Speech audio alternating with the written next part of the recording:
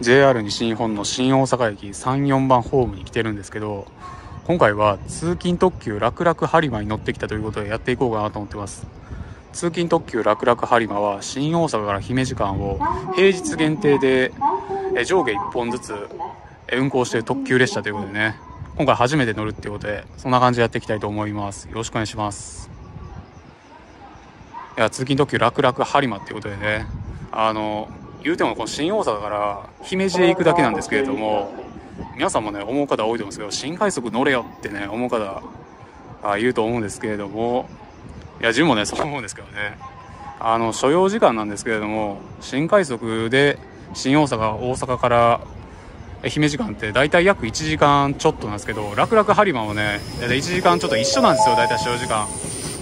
特急の意味あるんかって感じなんですけどもあと停車駅なんですけれども、まあ、新快速が止まる尼崎芦屋は通過するんですけれどもあの大久保駅ってあるんですけどもその駅あの新快速通過するんですけどこの通勤特急楽々播磨ねなんとね停車するってことでね快速が通過する駅を特急が停車するってどういうことやねんって感じなんですけどもね。いやなかなか面白そうな列車ということで。で一応ねこれが乗車券特急券なんですけれどもあの次特急楽々播磨ってあの指定席しかないですよ。自由席がないっていうことなんで。まああの乗車券と合わせて3040円ですね。はい。まあ、新快速やったらもっと安いんですけれども。3000か。さっきは34番ホームにいたんですけれども。ここですね。90番ホーム。今回の時は18時57分発の通勤特急楽々播磨姫路行きってことでね。10番線発着ってことで列車到着するのを待ちたいと思います。何も90番ホーム来たの初めてやね、まあ、ほんまに帰宅ラッシュの時間帯ということでね、まあ、人でごった返してるわけなんですけれども。もう帰宅ラッシュの時間帯の新快速こんな感じですよ。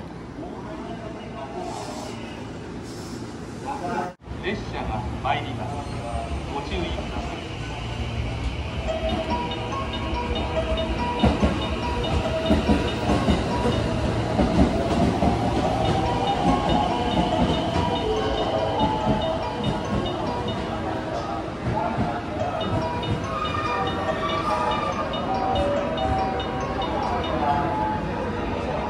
18時57分発通勤特急楽々播磨姫路行きやってきましたね。これ車両がこれ289系って言ってあの特急黒潮とかで使われる車両で、まあ、和歌山とか白浜とかねあっちの方行く列車ですけどねこれが使われるってことで。あの新大阪から発着やと特急黒潮と間違えてしまいますよね。この列車は正真正銘楽々播磨ってことでね、方向幕も楽々播磨姫路行ってね。これ面白いですよね。はいそしたら早速乗っていきたいと思います。JR 西日本の289系ということで座席の方をちょっと見ていこうと思うんですけれども。まず背面テーブルがついてる。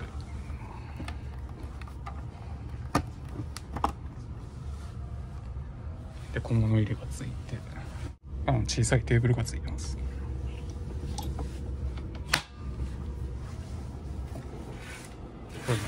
カーテンがついてます。座席のリクライニングじで。まあ普通ぐらいですかね。じゃあ倒すことができます。車内の案内があるんですけれどもまあいつ何が予想される場合のお願いってことでいやほんまに規制本線用のやつですよねこれ。これ京都方面新宮方面で。完全に黒潮用ですよ。でもこの列車は通勤特急楽々播磨っていうことで全然関係ないですよね。山陽本線を通って姫路行くっていうことで。まあこれは使わないですね。Thank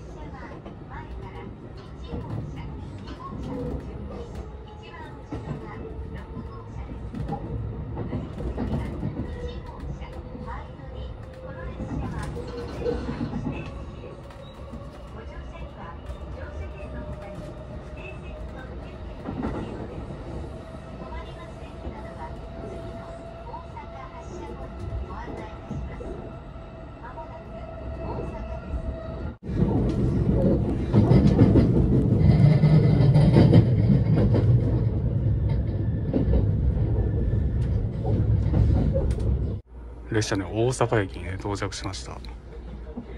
これ289系特急黒潮とかやったらこの大阪駅通らないんですけれどもね。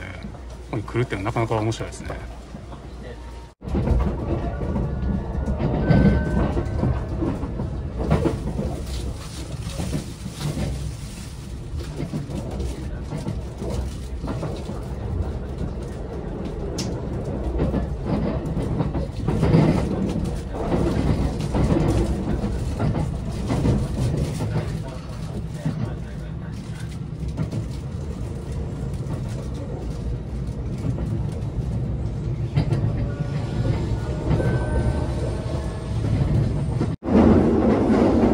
阪駅を発車したんですけれども次三宮まで止まらないということですここはデッキ部分です。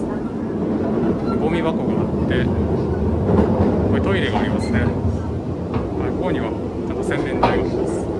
いや綺麗ですね。次特急楽々ハリマン東海道本線山陽本線を通って姫路行くということで海沿い走らないんでね今度使わないですよね。使わないっていうのが面白い。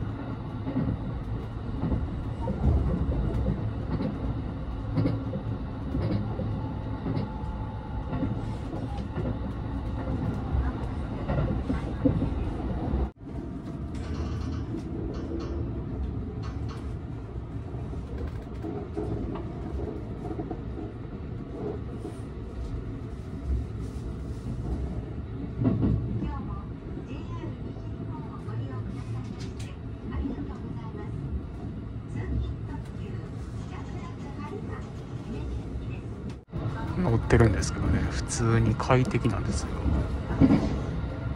あめっちゃガラガラっていうわけじゃないんですけれどもね。それでも少ないですね乗車率は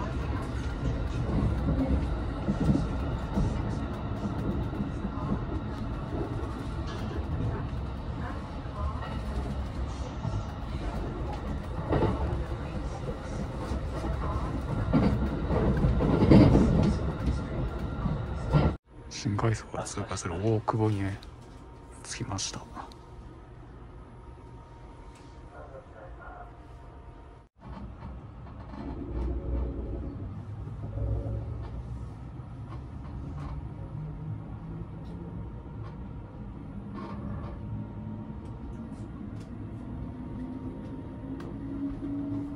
まあ快速が通過するのに特急が止まるって変な感じです。よね